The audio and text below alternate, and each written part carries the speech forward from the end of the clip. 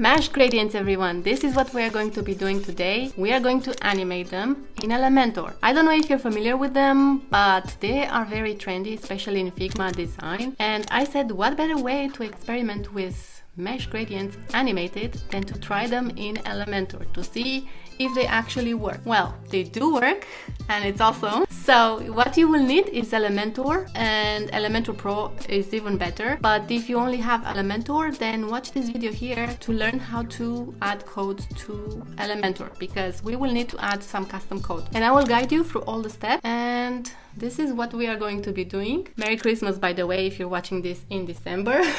and how beautiful is this? Look at this beauties. So I have another example here. So if you see there's like texture on, it's called noise. So let's see how we can achieve this. Okay, first thing we are going to be doing is create our mesh gradient. And for that, I will be using a tool called Mesher by CSS Hero. And I'm using this tool because it exports code. So we need the code. We don't want to have, we don't want a PNG or a SVG or anything like that. We just want the pure code that's going to be generated. As you can see, you can randomize the gradient gradient, but I honestly recommend that you create your own. So let me delete a few of these gradients. Let's add, let's go with purple and let's go with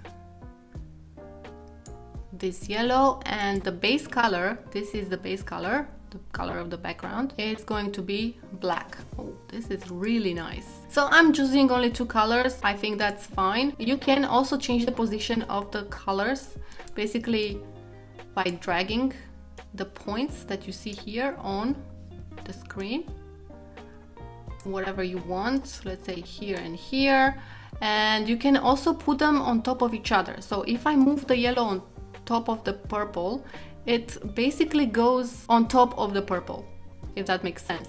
It is very subtle the change, but you can see. All right, okay. So you can also save it. You can add it to favorites, which I'm going to be doing. And to do that, you just select the heart and go to favorites and you can see you have it here. Now, let me just move myself because you cannot see. So what we can do or what we should do is basically go to export and copy to clipboard or just select the code and let's move on to Elementor. Okay, once in Elementor, make sure to select the container that you want to mesh gradient animate and go to advanced and add a class in the CSS classes box and I'm going to add this class mesh test. All right. And I am going to bring in the code. How beautiful is this?